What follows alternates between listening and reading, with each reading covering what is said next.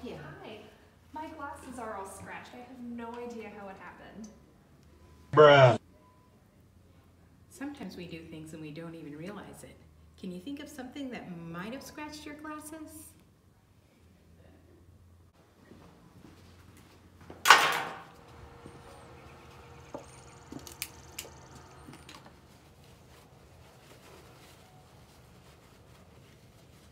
Can I give you a few helpful tips? Sure. Always spray your glasses off to get the debris, and then use a nice soft clean cloth, and that'll keep you from scratching them. And then last but not least, always put them in a nice solid case before you put them in your purse or carry them. Thank you. You're welcome.